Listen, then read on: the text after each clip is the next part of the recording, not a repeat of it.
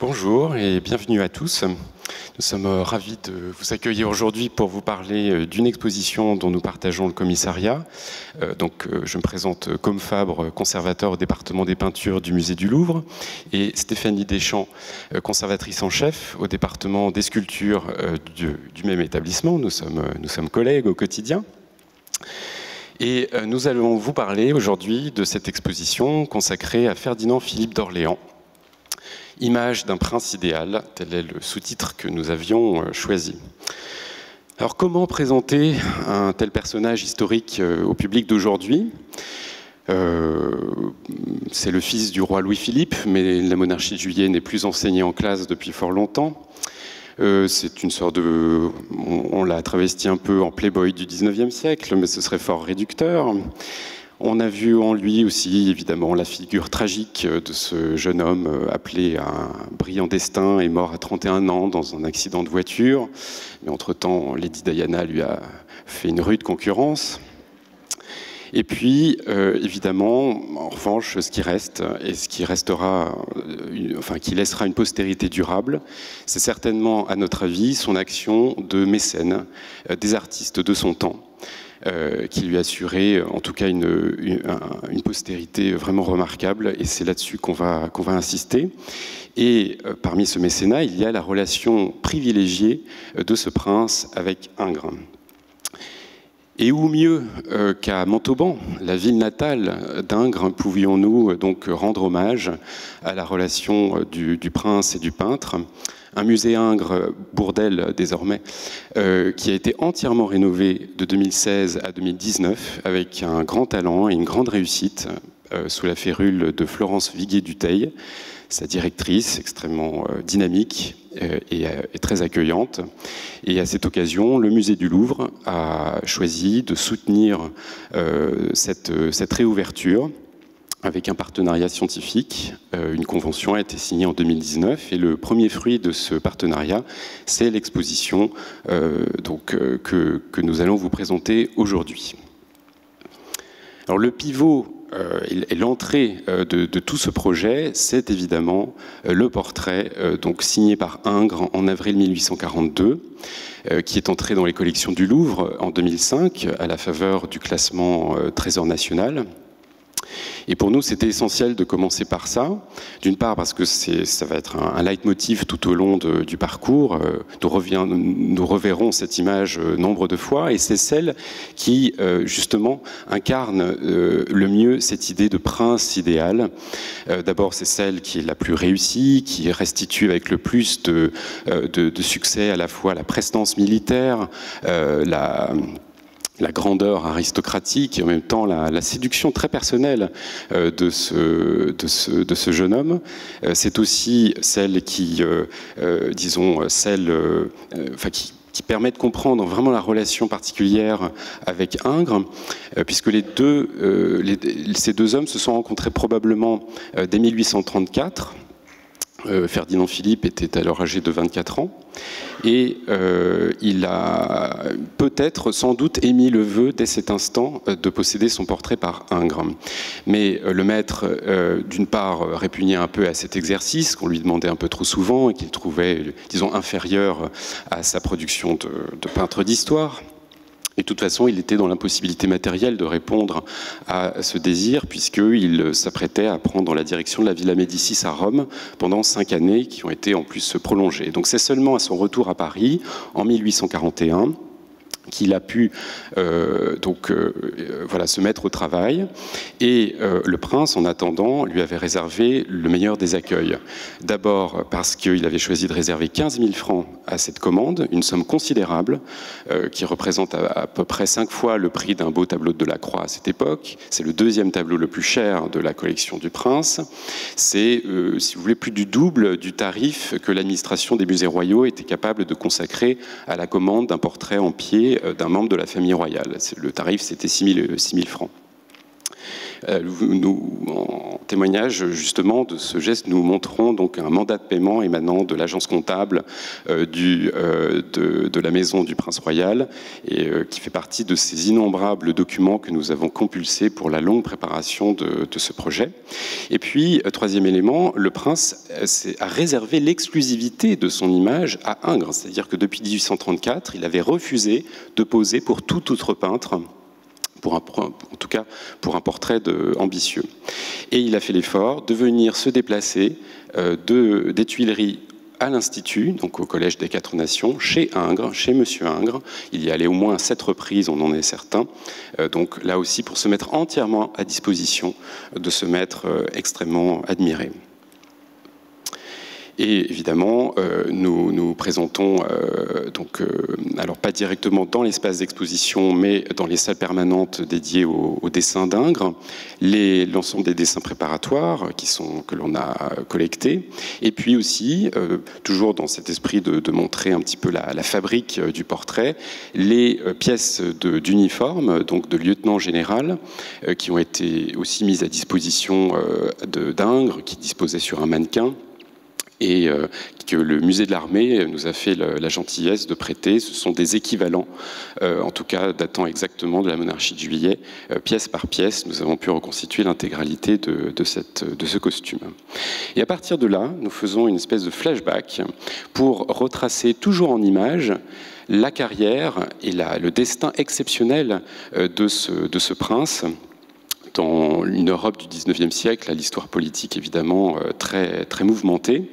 Euh, vous le voyez, nous nous, sommes installés ici, au, au rez-de-chaussée euh, du palais, de l'ancien palais épiscopal de Montauban, qui abrite le musée Ingres depuis le milieu du 19e siècle. Et donc nous nous installons de manière assez harmonieuse d'ailleurs dans ces, dans ces salons du 18e siècle. Alors les, premières œuvres que l'on découvre, euh, ce sont donc les premiers portraits d'enfants, et d'ailleurs de très jeunes enfants, puisque vous avez en haut à gauche un quasi inédit, en tout cas une œuvre qui vient tout juste depuis un an d'entrer dans les collections du musée Louis-Philippe à Eux, qui représente Ferdinand Philippe d'Orléans âgé seulement de 10 jours. Euh, tel un petit Moïse euh, sauvé des eaux dans ce couffin entouré de ronces, euh, qui évoque les, affres de l'exil, puisque cet enfant naît à Palerme en 1810, donc dans une Sicile où sa famille a trouvé refuge, puisque sa mère a été, et toute sa famille maternelle a été chassée de Naples par les armées napoléoniennes, et puis quant à son père, Louis-Philippe, duc d'Orléans, toutes ses propriétés foncières françaises ont été confisquées. Euh, il, parcourt l'Europe, euh, euh, lui aussi comme exilé, depuis près de 20 ans. donc c'est une miniature vraiment remarquablement aussi touchante et, qui vient d'entrer dans les collections publiques. Et puis, cinq ans plus tard, 1815, avec l'effondrement de l'Empire napoléonien, là c'est un, un cataclysme qui permet aux Orléans de retrouver la France donc euh, euh, Marie-Émilie et euh, les enfants rejoignent le père Louis-Philippe en 1817 et immédiatement est passée la première commande d'un portrait d'apparat à Gérard où Ferdinand apparaît donc en petit hussard dans un uniforme encore fantaisiste mais qu'il gardera très longtemps comme nous allons le voir. Et puis deux commandes très importantes, très intéressantes sont passées à Horace Vernet au début des années 1820 et qui montre euh, l'habileté avec laquelle Louis-Philippe joue aussi de l'image pour promouvoir sa progéniture et aussi euh, marquer le positionnement très particulier qu'il a vis-à-vis de la branche aînée des Bourbons, donc Louis XVIII et Charles X, qui règnent sur la cour des Tuileries, sachant que les Orléans, comme vous le savez peut-être, leur résidence est euh, juste de l'autre côté de la rue de Rivoli, au Palais Royal. À droite, vous avez le portrait euh, de Ferdinand Philippe qui vient d'être nommé à 15 ans colonel euh, du 1er régiment des Hussards, ce qui est une carrière tout à fait classique pour un prince de son rang. Mais à gauche, nous avons un portrait beaucoup plus intéressant, beaucoup plus original, qui le représente euh, venant d'entrer au Collège royal Henri IV. C'est une révolution, puisque c'est la première fois qu'un enfant d'un tel rang princier est scolarisé. Et ça, c'était le choix personnel voulu par ses parents et surtout par Louis-Philippe pour tout simplement que ses enfants grandissent au contact de la société française. Il faut, rappeler qu'ils étaient nés en exil, donc il était urgent en tout cas qu'ils baignent dans leur temps, qu'ils fassent, qu'ils nouent des amitiés avec des camarades issus de la bourgeoisie française. Évidemment, on n'est pas dans un, dans un collège de ZEP, hein. on est quand même à Henri IV. Il a comme camarade de, classe Alfred de Musset, par exemple. Et ce qui est encore plus original, c'est de le représenter non pas en classe, mais euh, dans une cour de récréation. Et là, la récré, ça c'était le, disons, franchir le Rubicon, parce que Louis XVIII, qui traînait fort des pieds pour donner son autorisation, avait dit bon, ok pour euh, être scolarisé, mais alors pas la récré. Ne laissez pas euh, nouer, hein, disons, acquérir des, mauvaises manières et un mauvais esprit. Donc justement choisir ce moment-là de la scolarité, c'était une provocation de plus et l'œuvre a été euh, gravée pour être diffusée au, maximum. Donc vous voyez, ce positionnement à la fois, cette conscience du rang aristocratique et en même temps cette ouverture au monde, c'est tout l'art du en même temps Louis Philippard. Alors nous suivons ce jeune homme qui grandit, euh, il a, vous le voyez à gauche, à 16 ans, dans une jolie lithographie d'Henri Grévedon, et euh, ce qui nous intéresse, nous beaucoup, historiens de l'art, c'est qu'il euh, est un remarquable dessinateur. Il en apprend les rudiments avec Harry Scheffer, qui est nommé par Louis-Philippe professeur de dessin pour toute la progéniture. Et l'aîné, on le voit, euh, développe un, talent tout à fait euh, remarquable. Il s'intéresse avant tout à la vie sauvage, aux animaux, puisqu'il développe un, goût rapidement pour la chasse. Euh, vous voyez aussi un, témoignage de son voyage en Écosse en 1829, et puis sa création la plus ambitieuse, c'est cette illustration euh, du Gulliver, euh, dont nous avons retrouvé le, dessin original daté de 1827, qui a été traduit en 1830, en même temps qu'une large sélection de dessins par Charles Motte en lithographie, édité à peu d'exemplaires, mais diffusé au, au sein du cercle d'amis. En 1828, en, plus de sa formation par Eicheffer, euh, Ferdinand Philippe a bénéficié de l'enseignement sans doute de l'aquarelle par Thales Fielding, un artiste anglais euh, ami de Delacroix qui séjournait depuis un certain temps en France. Donc c'est une formation relativement complète euh, dont il bénéficie et qu'il, alors qu'il abandonnera assez rapidement à l'âge de 20 ans, mais dont nous sommes heureux de présenter, grâce à de nombreux prêts du musée Louis-Philippe à eux, une, belle sélection. Et puis arrive évidemment euh, un, euh, événement euh, inattendu, ce sont les trois journées glorieuses de 1830 qui chassent la branche aînée des Bourbons. Euh, Charles X euh, part en exil en Angleterre et euh, après quelques heures d'incertitude, allait-on rétablir une république? Eh Les milieux d'affaires, les banquiers, les parlementaires libéraux, les patrons de presse aussi, font en sorte que l'on appelle au trône ce cousin, justement réputé pour son esprit libéral, ouvert, moderne, qui, pourrait offrir une alternative intéressante au maintien de la monarchie mais avec une ouverture, euh, d'une extension du droit de vote, euh, un respect euh, plus grand de la, de la, Constitution. Donc vous le voyez ici prêtant serment devant les deux chambres réunies, et vous voyez que juste derrière lui apparaît son fils aîné, toujours en uniforme de hussard, et qui du jour au lendemain, donc en ce 9 août 1830, euh, reprend de son père le titre de duc d'Orléans, puisque auparavant il avait le titre de duc de Chartres, et en même temps euh, acquiert le statut de prince royal, qui est l'équivalent de dauphin dans une monarchie euh, donc constitutionnelle.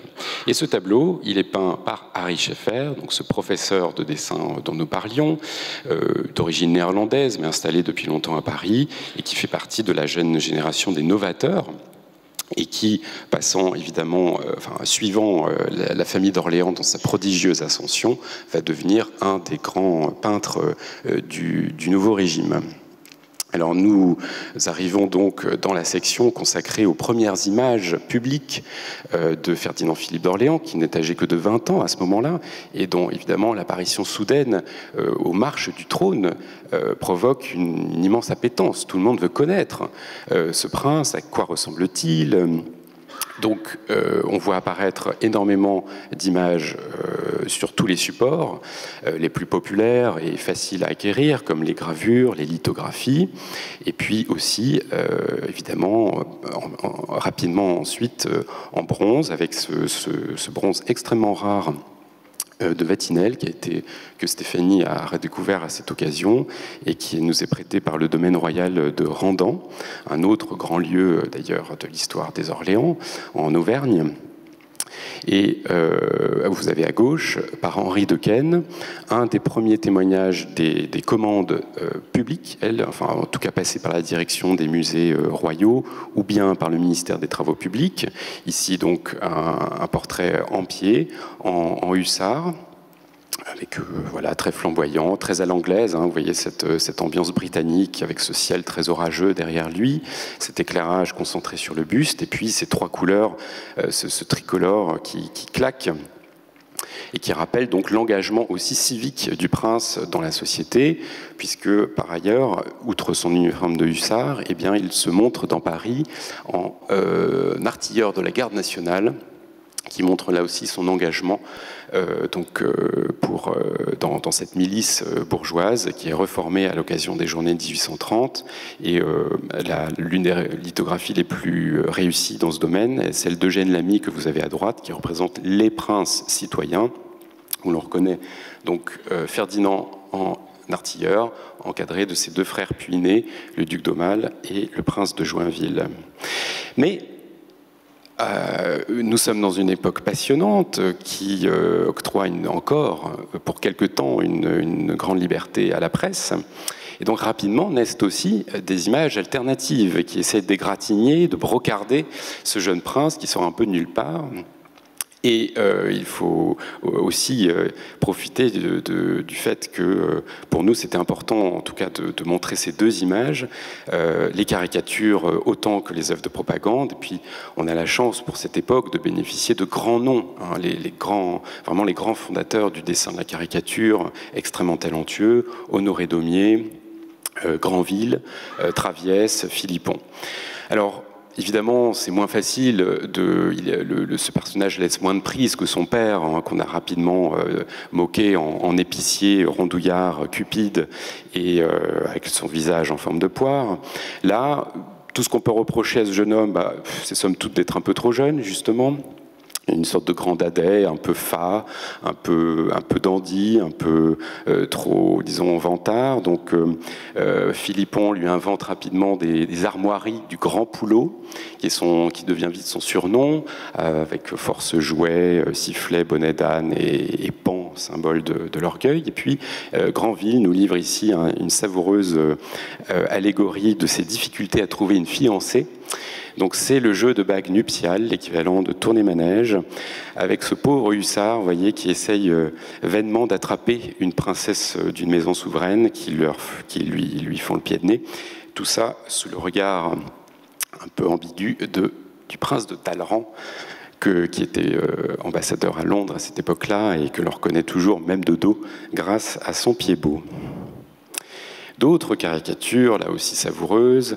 Vous avez euh, donc euh, Despéret qui euh, brocarde ici Louis-Philippe, essayant de pousser la carrière militaire de son fils, notamment à l'occasion du siège d'Anvers en 1832, tel Dédale jetant Icare vers, vers le soleil mais le soleil reste réservé à, Napoléon, c'est le soleil d'Austerlitz, tout en haut de la colonne Vendôme, et ce pauvre Ferdinand Philippe euh, se tombe dans les marais euh, d'Anvers. Il est, euh, dans un voyage en Suisse, réveillé par des apparitions cauchemardesques, justement, de ces journaux, la caricature, le, charivari, qui l'empêche de dormir.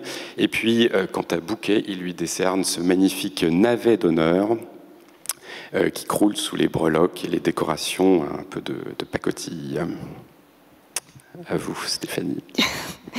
Alors la troisième section de l'exposition dans laquelle vous entrez maintenant est consacrée aux images officielles créées dans les années 1830 pour euh, asseoir en, fait la stature d'héritier de Ferdinand Philippe d'Orléans. Les ressources des beaux-arts, que ce soit la peinture, la sculpture ou encore l'art de la médaille, vont être mises à contribution pendant une courte période de dix ans pour établir finalement les multiples facettes d'un portrait idéal de prince. En effet, le prince royal doit être exemplaire. Ses paroles, ses images doivent correspondre aux vertus que la société attend euh, d'un jeune prince.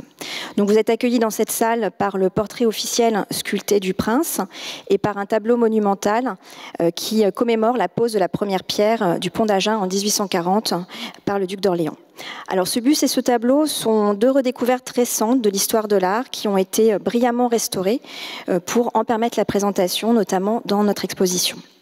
Alors ce buste est le seul portrait officiel sculpté du vivant de Ferdinand Philippe. Il est dû au ciseau d'Antoine Etex, qui est alors une jeune valeur montante de la sculpture romantique. Et ce qui est très amusant, c'est que Etex est un farouche républicain qui a tout fait pour éviter euh, d'obtenir cette commande, et c'est Adolphe Thiers qui l'a forcé. Il s'est montré extrêmement désagréable avec le prince lors euh, des trois séances de pause qu'il lui a imposées.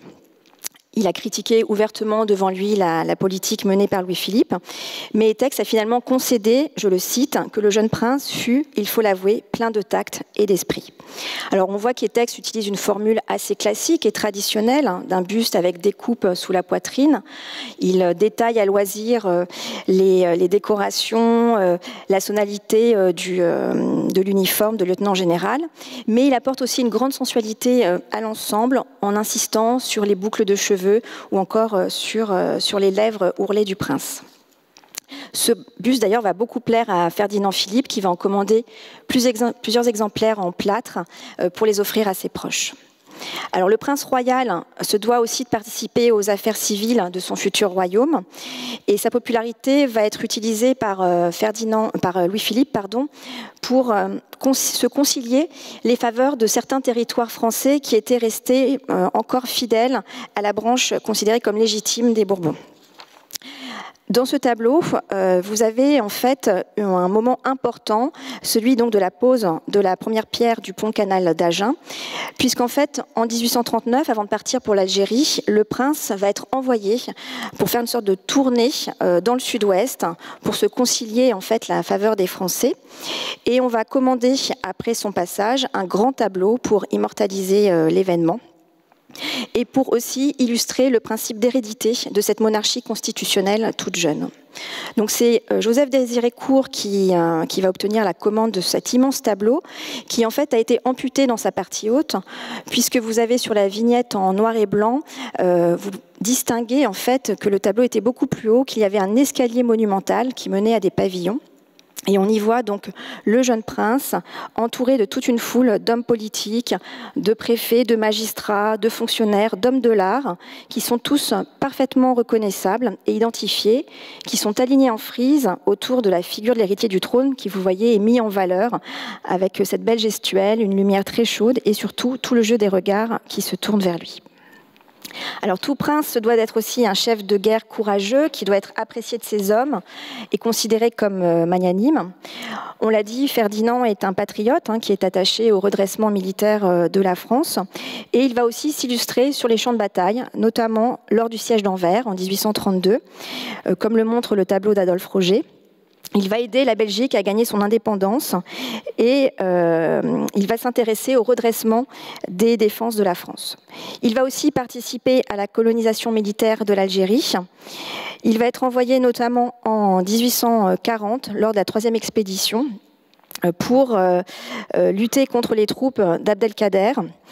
Il va, demander à son père l'autorisation de partir en Algérie, puisqu'en fait, on se rend compte que Ferdinand Philippe est un prince guerrier, guerrier qui aimait, euh, être sur les champs de bataille au milieu de ses hommes. Louis-Philippe va accepter, mais va l'envoyer également avec euh, le jeune euh, duc d'Aumale, son frère, qui va lui servir On le voit sur son cheval blanc euh, sur le tableau de Philippe Otto. Et surtout, Louis-Philippe va demander à un peintre, euh, donc Philippe Otto, d'accompagner les deux jeunes princes pour euh, commémorer les événements de cette campagne qui, pour lui, ne peut être que victorieuse. Donc c'est intéressant de voir cette ressource de la peinture d'histoire mise au profit d'une actualité toute récente, quasi journalistique.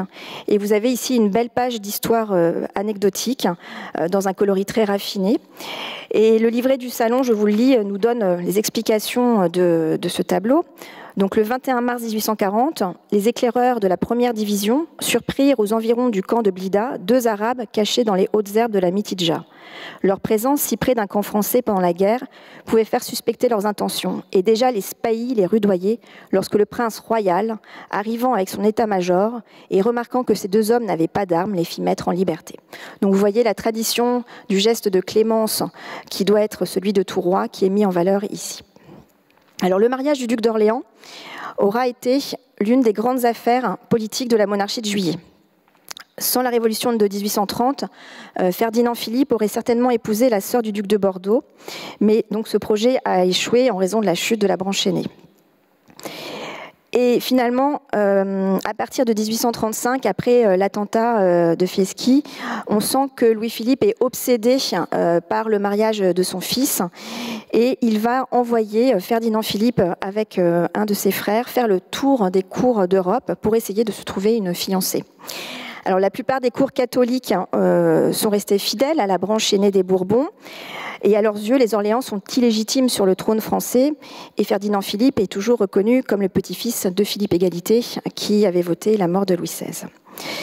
Donc Ferdinand Philippe va tout de même parvenir à épouser une jeune princesse, Hélène de Mecklenburg-Schwerin, dont vous avez le portrait à l'écran, qui est une nièce du roi de Prusse, avec qui il va avoir deux enfants, deux fils.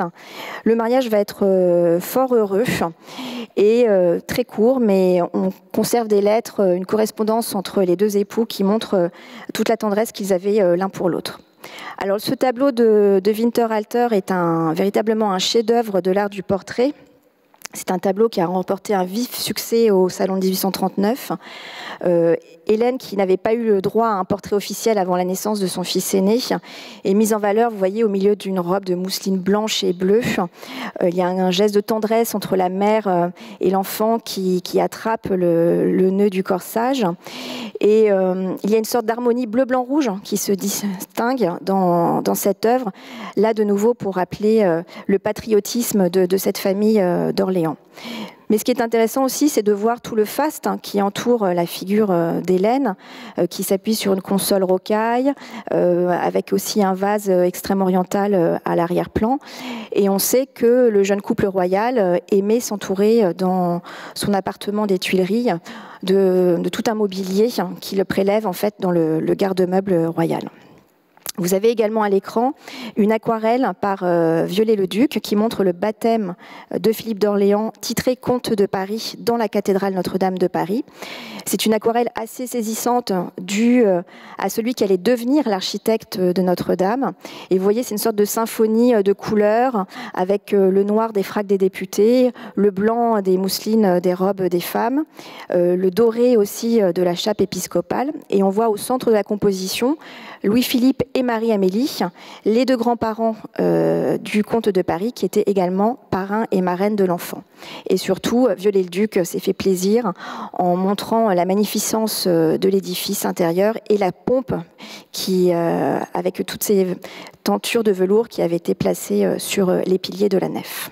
Donc là, à partir de cette, cette exploration donc, des images du prince vivant, nous abordons euh, évidemment la, le cœur de, cette exposition qui est son action de mécène avec euh, le résultat de ce mécénat qui était une collection magnifique rassemblée dans l'appartement euh, du duc et de la duchesse d'Orléans au rez-de-chaussée du pavillon de Marsan au palais des Tuileries, une atmosphère donc fastueuse, raffinée que nous avons essayé d'évoquer dans l'un des salons dorés 18e de l'appartement épiscopal de Montauban. Et ça marche tout à fait, on était bien content du résultat.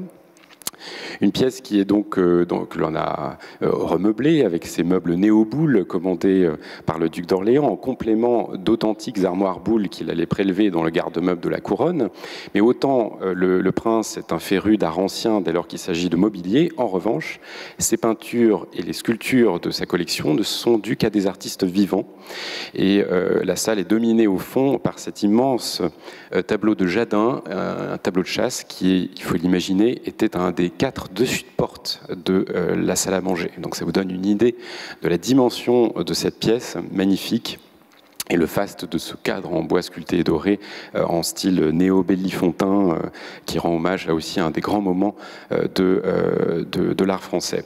Alors cette ambiance des fastueuses soirées du duc et de la duchesse d'Orléans, on la connaît à travers des témoignages graphiques comme ici l'aquarelle de Gênes Lamy qui nous restitue l'accrochage très dense euh, des salons.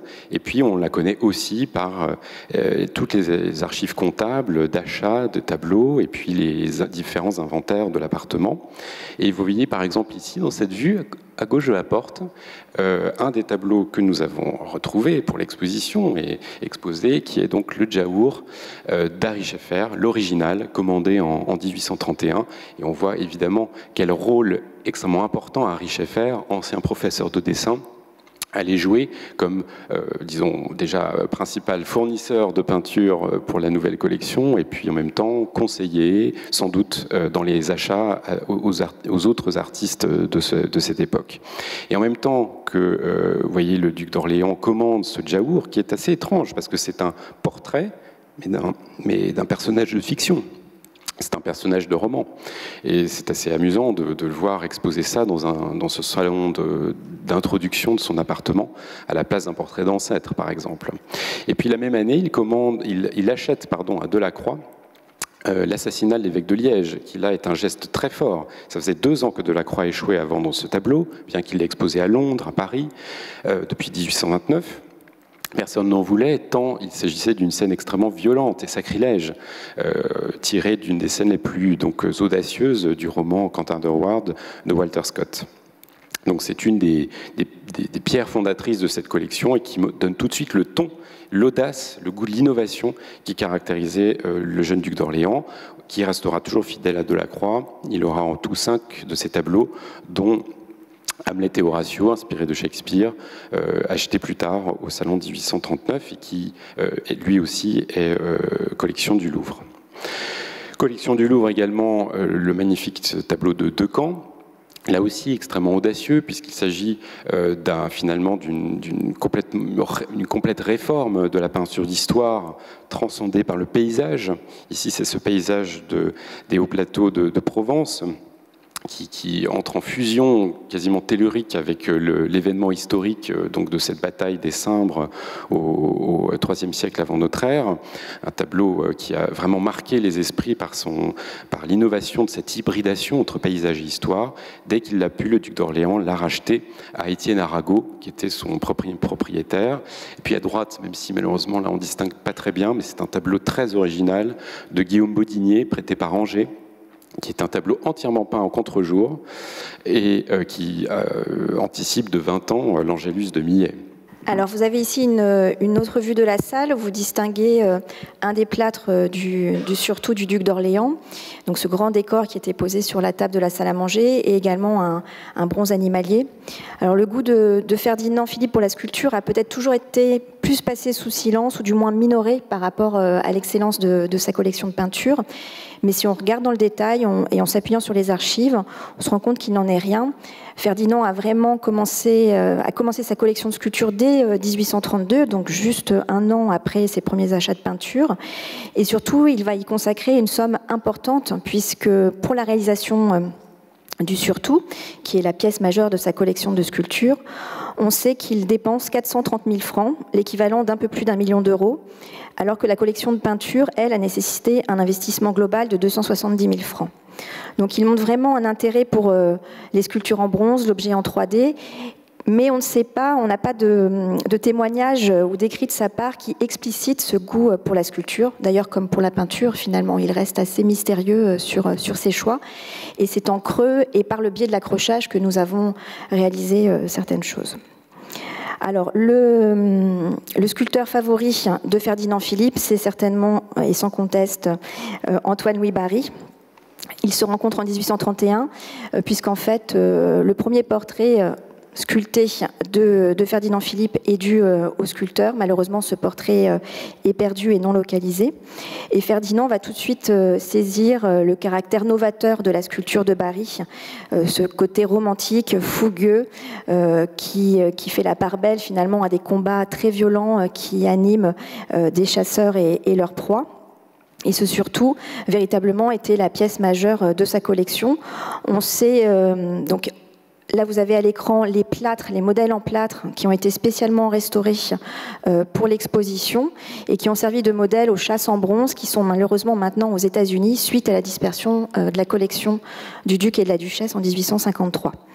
Il faut imaginer euh, que ces œuvres étaient placées sur des socles en bronze doré ornés de pierres dures et l'éléphant monté par un Indien se trouvait sur un socle qui avait une forme d'arc de triomphe.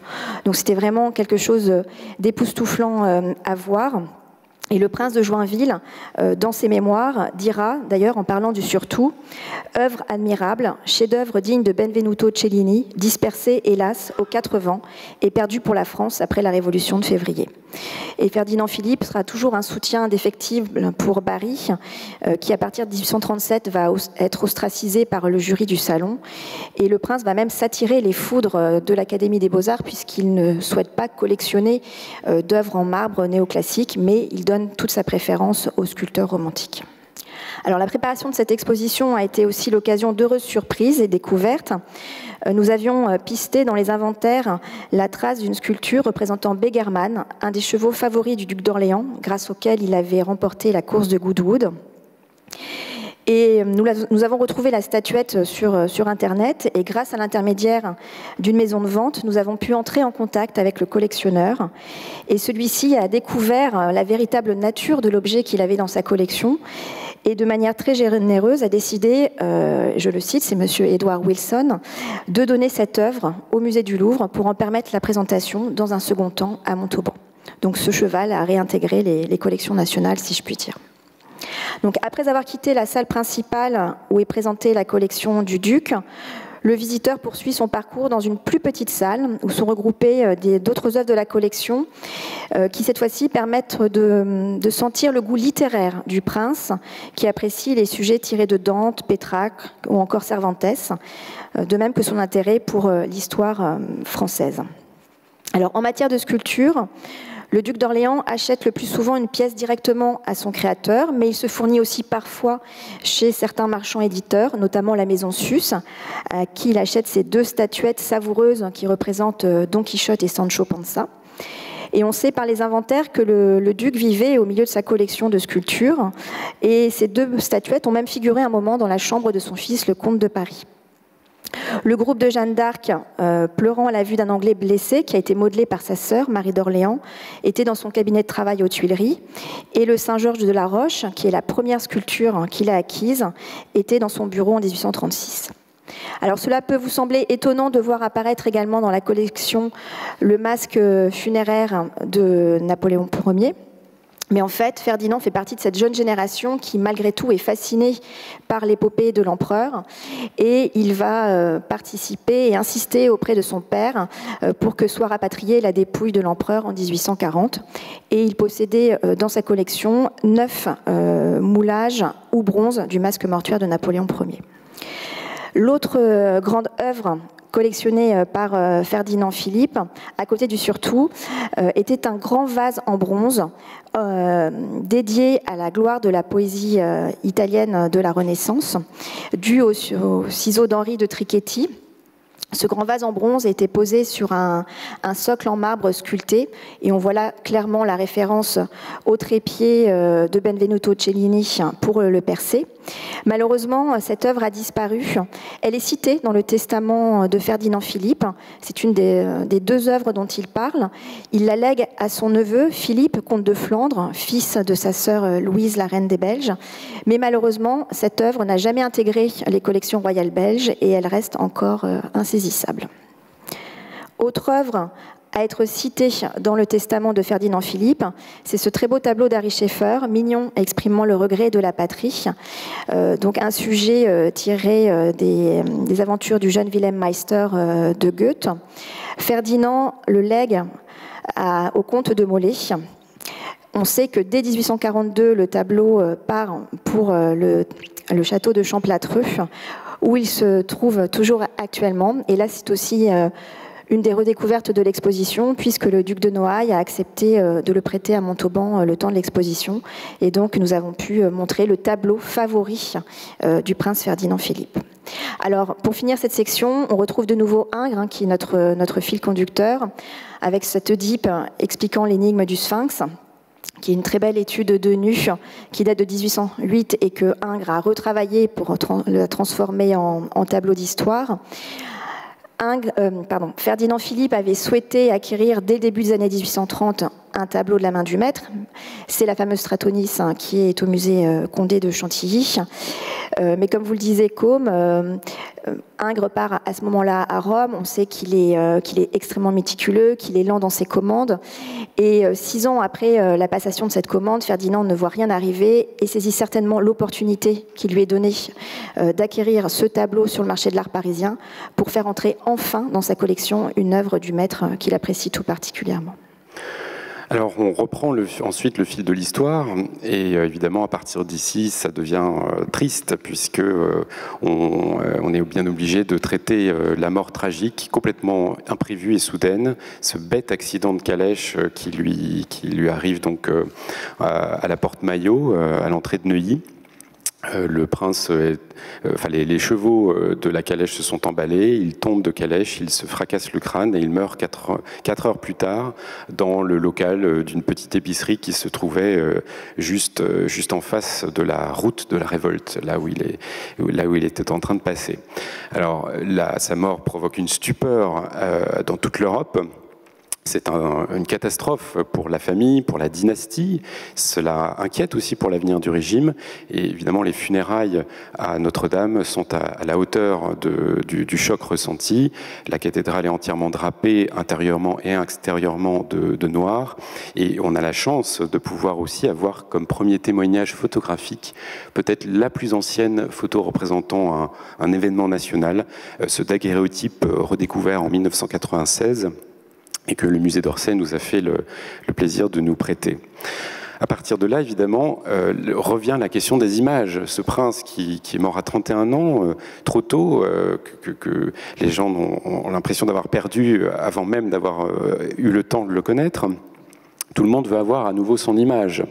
Et donc naît une, une profusion d'images posthumes, tant en peinture qu'en sculpture que nous retraçons dans une grande salle consacrée à, tout cela. Et évidemment, le premier concerné, le premier sollicité pour cela, c'est Ingres.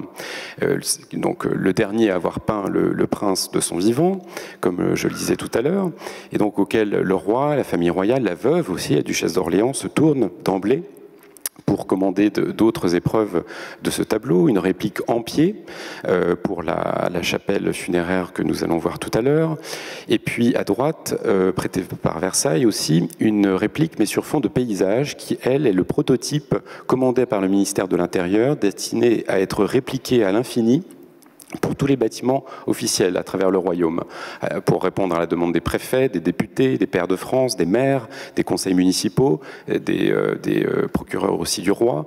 On va remplir les tribunaux, les mairies de cette image qui représente le prince sur un fond de jardin à la française. Et puis ensuite, euh, évidemment, quantité d'autres versions en ovale, en buste, euh, sous toutes les formes, et pas seulement d'ailleurs en, peinture, mais aussi évidemment euh, en gravure. Luigi Calamata, qui est le, graveur attitré d'Ingres et privilégié, celui que, le seul en quel Ingres a confiance, est chargé très vite, dès l'été, donc dès le mois d'août 1842, de fournir une première transcription du portrait en en gravure, avec vraiment l'état le plus, le plus simple, juste le visage, le reste est seulement esquissé. Et c'est seulement en 1845 qu'il livre la euh, composition entièrement traduite. Et on a aussi dans l'exposition euh, l'occasion de voir des traductions euh, assez étonnantes en petites sculptures de toute taille et de tout, matériau, plâtre ou bronze, sur porcelaine de Sèvres, et puis aussi vraiment grande comment dire prouesse technique la traduction en médailles. Vous avez ici donc les, les, les, maquettes, enfin les matrices plus précisément, qui ont permis de frapper cette médaille commémorative sculptée par Eugène André Houdinet, avec ce tour de force qui est de traduire non pas en profil, mais en, de face le, les traits donc de ce, de ce prince Trottoparti, qui est cette fois-ci travesti à la romaine pour faire référence à la figure historique antique de Marcellus. Mais évidemment, euh, Ingres n'est pas le seul à se partager le gâteau. Certains rivaux euh, veulent aussi euh, exister. Et, parmi eux, évidemment, Winterhalter, qui avait, peint la duchesse, mais pour lequel donc, le duc d'Orléans avait toujours refusé de poser. Winterhalter, qu'à cela propose une image posthume que vous avez ici, prêtée par Amboise à la Fondation Saint-Louis. Henri Schaeffer, le frère cadet d'Harry, propose aussi un portrait fait de mémoire, pardon, euh, qui était le, bizarrement euh, la version favorite de la reine Marie-Émilie, qui n'aimait pas le portrait d'Ingres, on ne sait pas trop pourquoi. Et puis euh, aussi, évidemment, en sculpture, des grands portraits en pied qui reprennent, disons, l'élégance et la finesse d'Ingres. Ici, le marbre gigantesque de Jalais, exceptionnellement prêté par le département des sculptures du Louvre. Alors, effectivement, rapidement, les, artistes, les sculpteurs aussi vont se livrer une guerre sans merci pour euh, pouvoir euh, avoir le privilège de, sculpter dans le marbre les traits de, Ferdinand. Alors James Pradier, euh, d'ailleurs, va être un des plus actifs. C'est lui que Louis-Philippe va appeler auprès de la dépouille de son fils hein, pour procéder au moulage de son visage. Et il faut savoir que Ferdinand Philippe n'appréciait pas du tout euh, Pradier. Et c'est assez étonnant de voir que les, principaux monuments vont être confiés, euh, vont être confiés à cet artiste hein, qui, va réaliser un monument pour les galeries historiques euh, de Versailles, où on voit Ferdinand Philippe camper et en chef militaire. Il va également livrer un buste, un prototype, qui va servir notamment pour des monuments en Algérie.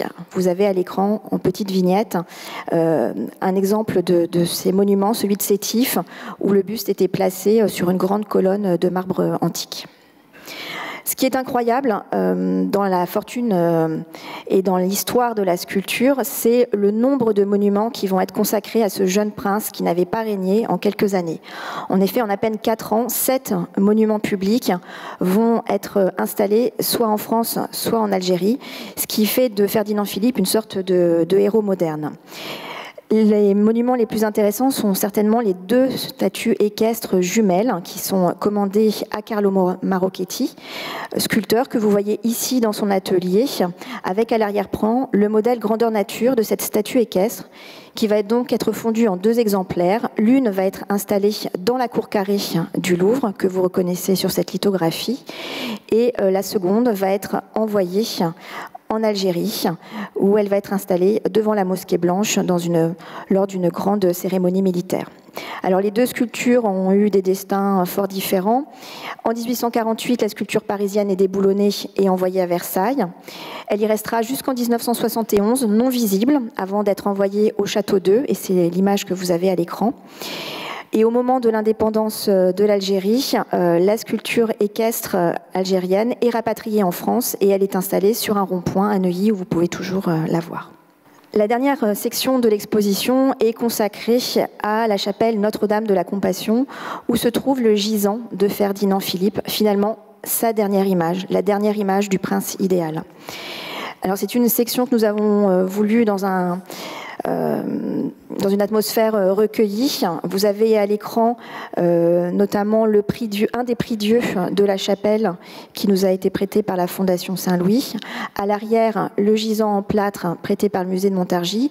Et nous avons choisi d'évoquer un des vitraux faits par Ingres pour cette chapelle, celui qui représente Saint Ferdinand, pour essayer de, reconstituer l'atmosphère assez romantique de, de, cette chapelle qui se trouve actuellement porte des alors la chapelle a été euh, confiée à Lefranc qui va euh, réaliser la prouesse de la construire en à peine une année. C'est une petite chapelle euh, sur un plan néo-grec. vous voyez également qu'elle était accompagnée à l'origine d'un petit bâtiment qui était réservé à la famille royale. Et l'intérieur est assez simple, sobre. On retrouve les prix Dieu. On distingue également derrière le maître-autel une piéta qui est due au ciseau d'Henri de Trichetti. Et on voit surtout donc, tous ces vitraux euh, dont les modèles ont été donnés par Ingres et qui laissent passer une splendide lumière. Le couple royal euh, va faire appel en fait aux amis de Ferdinand Philippe pour euh, créer cette dernière image. Et c'est donc Harry Schaeffer euh, qui est fortement ému par la disparition de son ami, le prince, qui va très rapidement mettre en place cette formule du gisant médiéval, d'inspiration médiévale, soutenu euh, par un ange euh, qui, dans un geste d'intercession, apporte l'âme de Ferdinand euh, Philippe au paradis. Alors on voit l'émotion de Dari Schaeffer hein, dans ces petits dessins rapidement esquissés et dans cette maquette en plâtre qui nous a été prêtée par le musée de Dordrecht hein, qui conserve tout le fond Harry Schaeffer. Mais Schaeffer n'est pas un sculpteur, il va donc demander à Henri de Trichetti, autre artiste collectionné par le prince, euh, de donner euh, une réalité sculpturale hein, finalement euh, à ses dessins. Et c'est Trichetti qui va imaginer ce, très beau détail de la, chemise ouverte du prince qu'on vient d'ouvrir en fait pour lui permettre de respirer encore et au moment où il exhale son dernier souffle.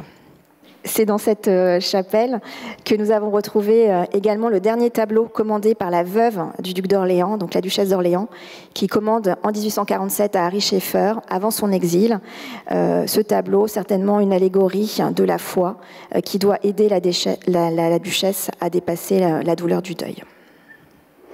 Voilà, un lieu en tout cas qu'il faut essayer d'aller visiter si vous avez l'occasion. Hein, c'est Porte des Ternes, c'est ouvert tous les jours puisque c'est devenu une église paroissiale. Et c'est là sans doute qu'on ressent encore le plus authentiquement euh, l'émotion euh, donc de cette euh, disparition tragique, qui résonne de manière, d'ailleurs de, manière assez aussi intéressante avec le testament que le duc d'Orléans avait rédigé avant d'embarquer pour la troisième fois pour l'Algérie en 1840, où il terminait de manière très, très franche en, disant Enfin, puisqu'il faut arriver à dire un mot de moi, je désire que mon enterrement ait lieu sans pompe. J'ai évité pendant ma vie autant que je l'ai pu les comédies, et je ne voudrais ni ennuyer le monde après ma mort, ni surtout faire servir mon cadavre à une mascarade posthume dont le résultat serait de faire bailler les indifférents et amuser les oisifs.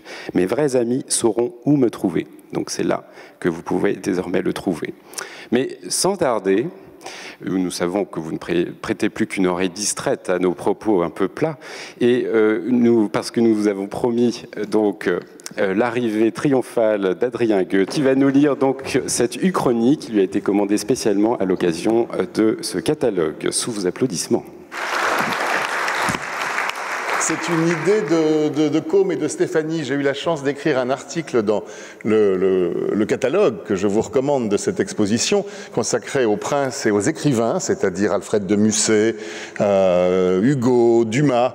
Euh, et puis ils m'ont demandé un, second texte qui est euh, illustré, vous le voyez ici, par un artiste qui est dans la salle, Julien Lévy, qui a donné une existence warolienne au, au prince et s'il avait régné, et s'il n'était pas mort durant ces années, il ne semble qu'aucun auteur se soit encore lancé dans cette uchronie que moi j'ai trouvée très tentante. Euh, que serait-il advenu de la France et du monde si le duc d'Orléans n'était pas mort en 1842.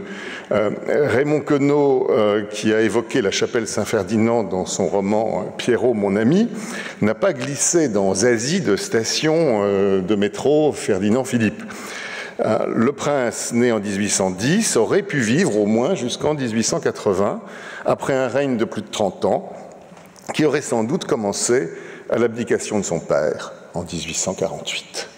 Ferdinand aurait été le sauveur de la monarchie en apparaissant euh, face au peuple qui se ruait sur les Tuileries, entouré de Thiers, de Rémusat, de Victor Hugo, dans la salle du trône que menaçaient les émeutiers. Flaubert a fait euh, de cette scène glorieuse le morceau de bravoure de l'éducation sentimentale. Le prince se serait écrié alors La jeune garde est là, elle sera le rempart de la liberté. Tandis que ses parents prenaient une retraite, discrète à Palerme et que Guizot, furieux, s'exilant à Guernesey, rédigeait un pamphlet trop long, un peu ennuyeux, intitulé Ferdinand le Petit, qui fit long feu. La suite euh, est facile à imaginer. Plébiscité, lors du très audacieux premier scrutin au suffrage universel masculin qui ratifia la nouvelle charte en 1849, Ferdinand commença son règne dans l'euphorie. Il prêta serment devant les chambres, la reine Hélène et lui donnèrent onze enfants à la France, onze enfants. Le règne des artistes commença. Bari peupla d'animaux de bronze colossaux les barrières de Paris qui devinrent des places à mesure que s'abaissaient les fortifications. De Caen peignit sa Sixtine, le plafond de la grande galerie du Louvre, illustrant les poèmes de la légende des siècles. Daumier. Daumier fut le premier caricaturiste élu, non sans quelques grincements de dents, à l'Académie des beaux-arts, le même jour que le photographe Disdéry. Rambuteau continua ses embellissements de Paris, mais en lui conservant son âme médiévale, avec les conseils de Victor Hugo. Ils dessinèrent avec le roi, qui y travaillait en personne, un entrelac de petites rues saines et lumineuses, ponctuées de jardins et de squares, ornées de fontaines et de fabriques néogothiques.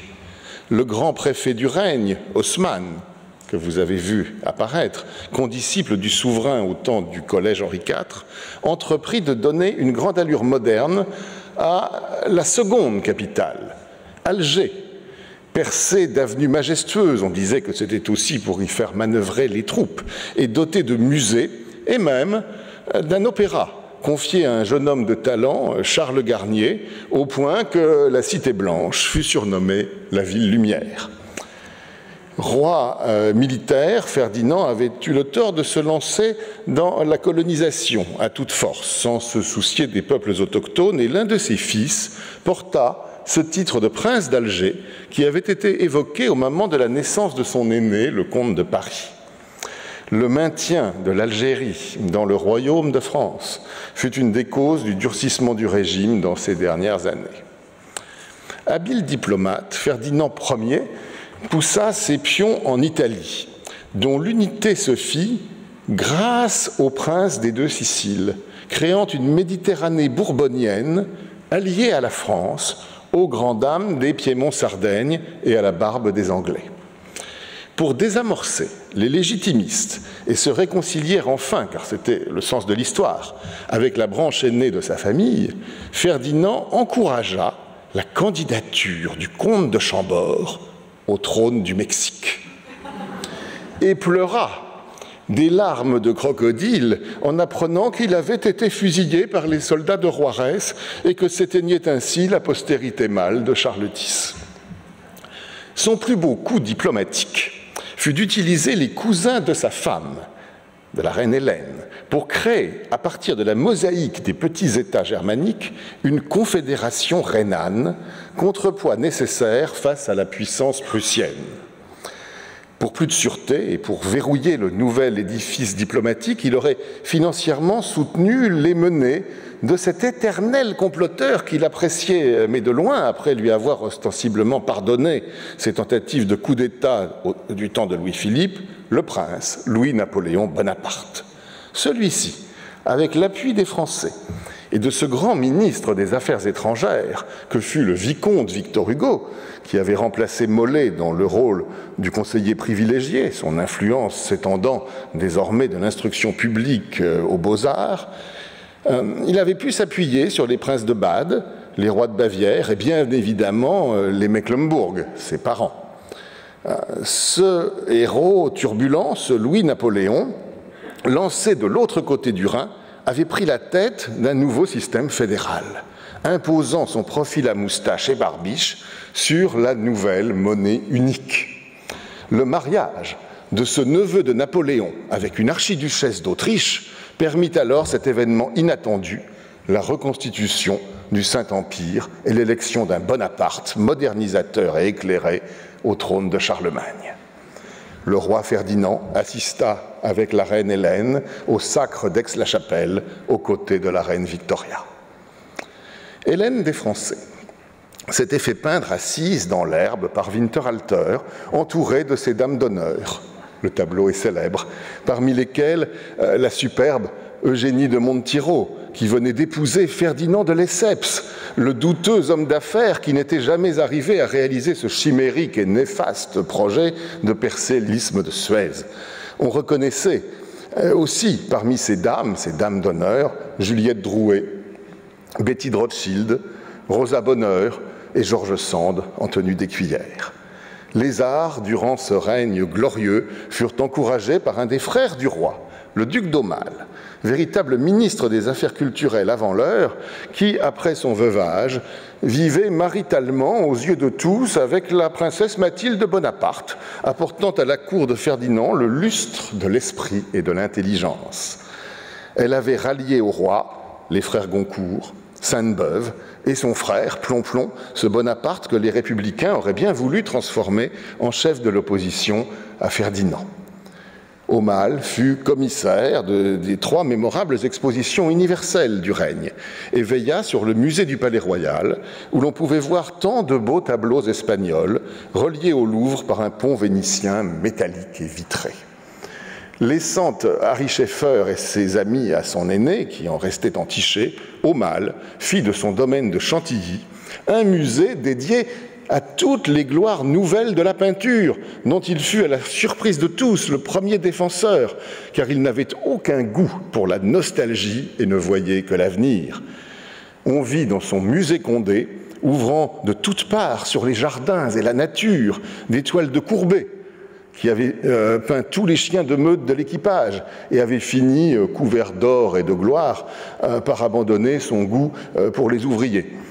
des danseuses, peintes par son cher Degas, des œuvres de tous les amis de celui-ci, Manet, Monet, Renoir, sans oublier Berthe Morisot. Quelques marginaux, groupés autour de Cabanel, avaient bien tenté, sous les huées, un ridicule salon des refusés en 1863, rempli de Vénus et de Vierges à l'enfant, qui n'avaient eu aucune suite, si ce n'est chez les faiseurs de satire et de salons pour rire. Ingres, qui avait accédé bien évidemment à la pairie et avait été fait grand croix de la Légion d'honneur avant de disparaître en 1867, avait signé son dernier portrait féminin en livrant une bouleversante effigie posthume de la reine.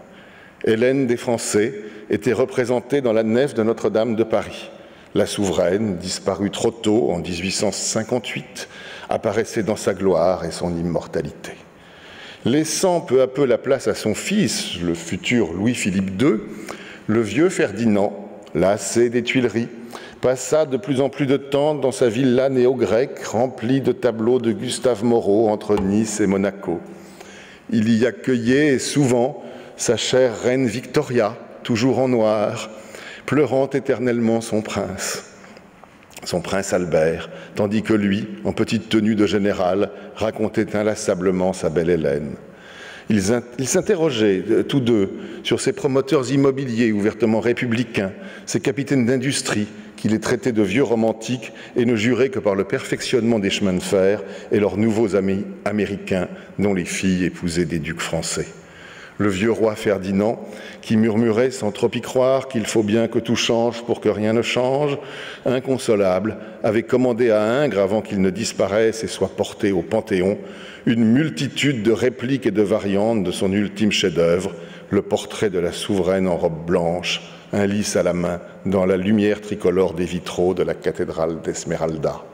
Ces toiles, sont aujourd'hui conservés dans les plus grands musées du monde, Versailles, Munich, Brasilia, Chantilly, mais le plus émouvant est sans doute l'ensemble de dessins préparatoires que Ferdinand Ier conservait dans sa chambre et qu'il légua par son testament, par fidélité à la mémoire du vieux maître dont le bain turc ultime défi l'avait enchanté, au musée de la ville de Montauban, dont il avait fait un des plus riches de son royaume. Merci.